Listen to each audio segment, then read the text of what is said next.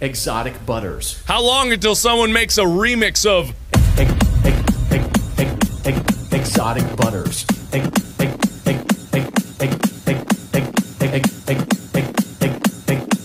Exotic butters.